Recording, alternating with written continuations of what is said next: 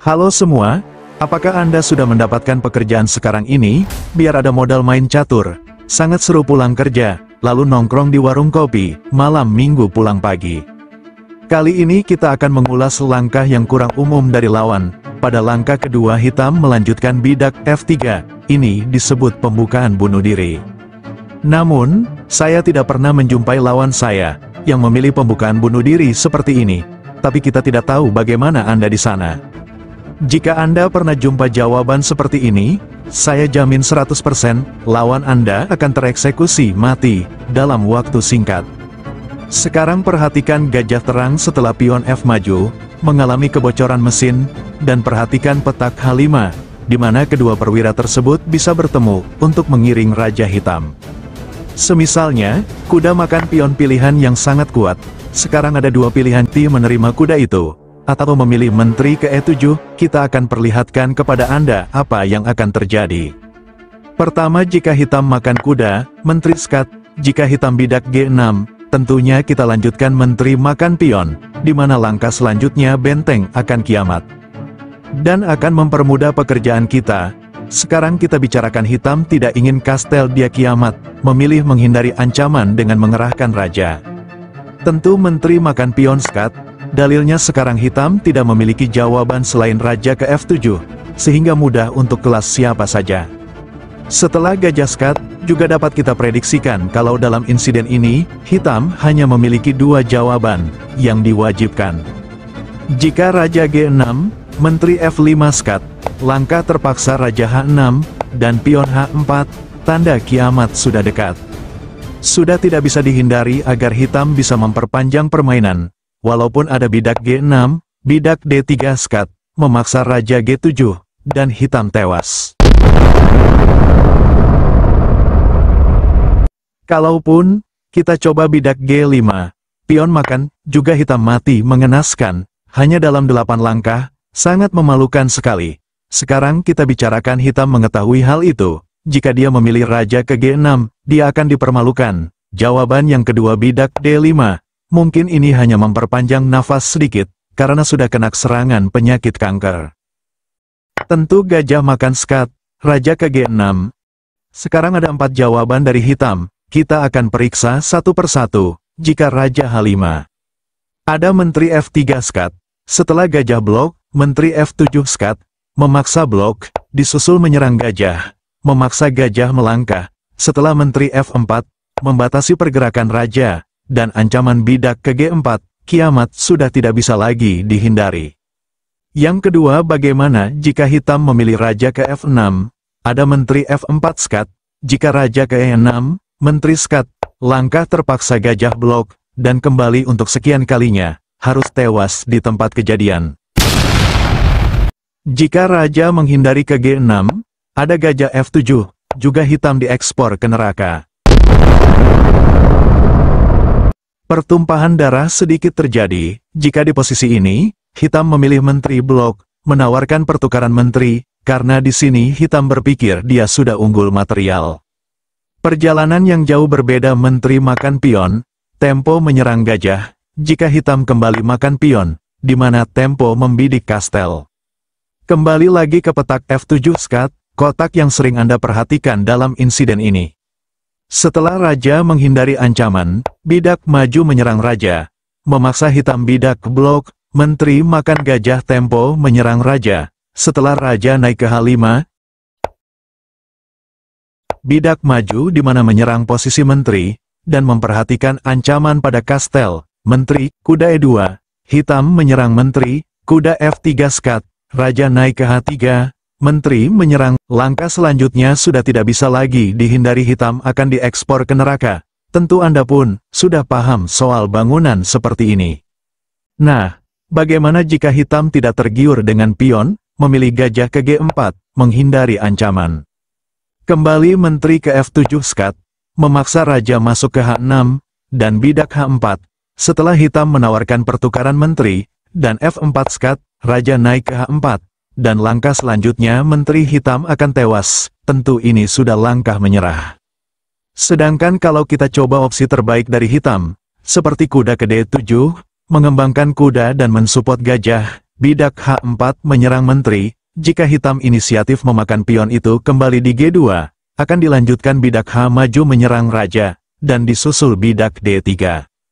Jalan satu-satunya dari hitam agar bisa bermain imbang, menawarkan pertukaran menteri, pada titik inilah, yang perlu Anda ketahui, sekarang Anda tidak bisa lagi melancarkan serangan brutal.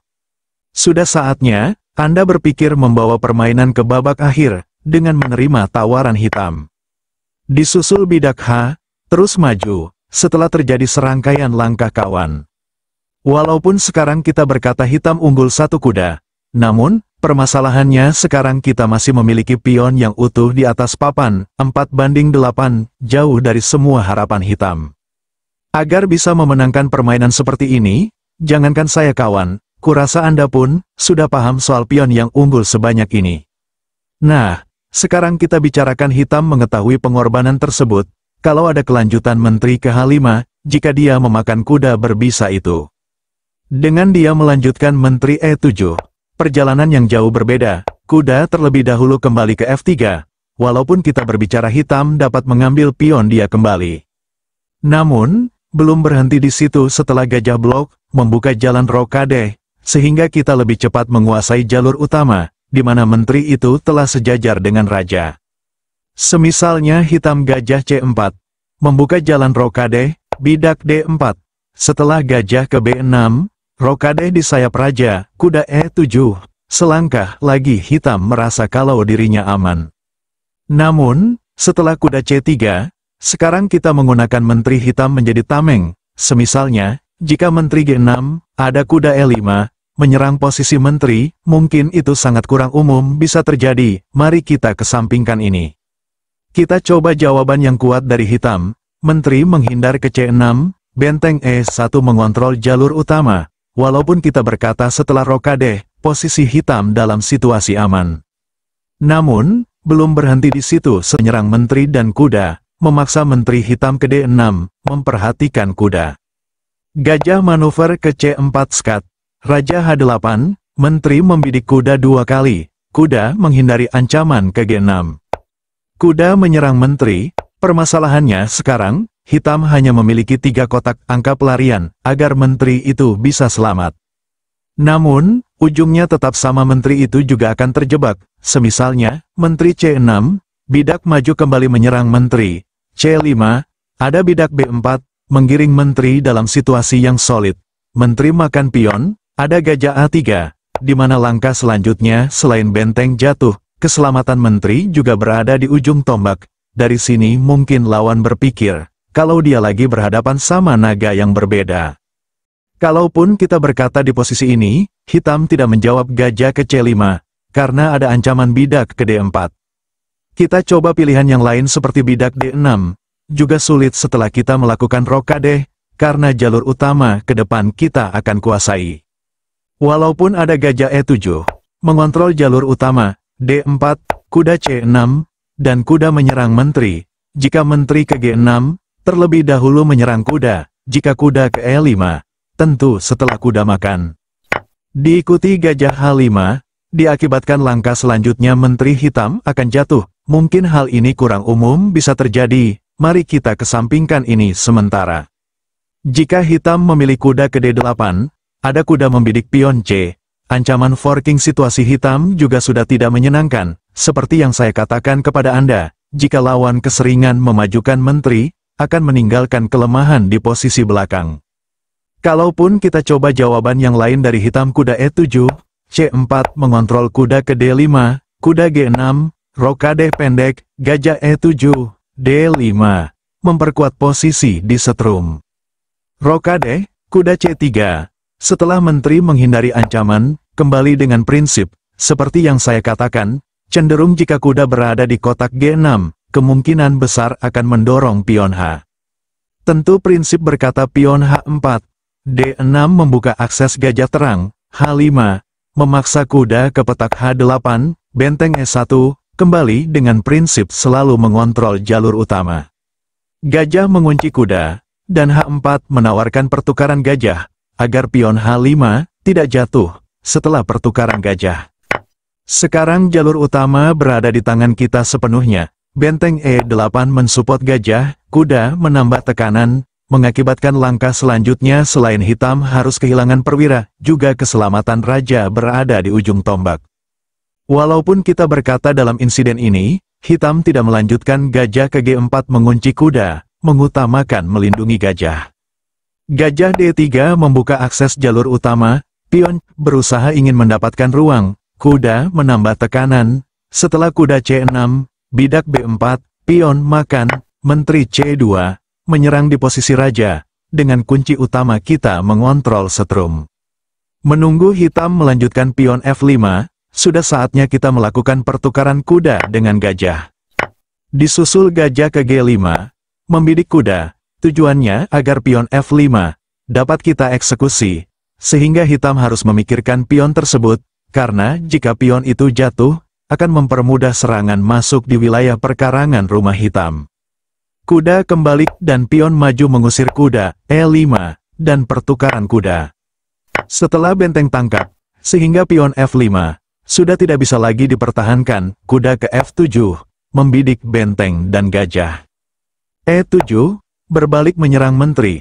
Setelah menteri menghindari ancaman, bidak C5 lagi-lagi menyerang menteri. Tujuannya, ingin merebut petak terang, sudah serba salah. Jika pion itu tidak diterima, pion itu akan maju ke depan, justru menjadi duri dalam tenggorokan. Menteri makan pion, dan saatnya kita bermain di sepanjang diagonal panjang. Dengan gajah C4, Menteri menghindari ancaman gajah, langkah selanjutnya kuda akan jatuh selain keselamatan hitam berada di ujung tombak. Nah, pada titik ini akan mempermudah bagi kita jika hitam langsung menangkap pion E4.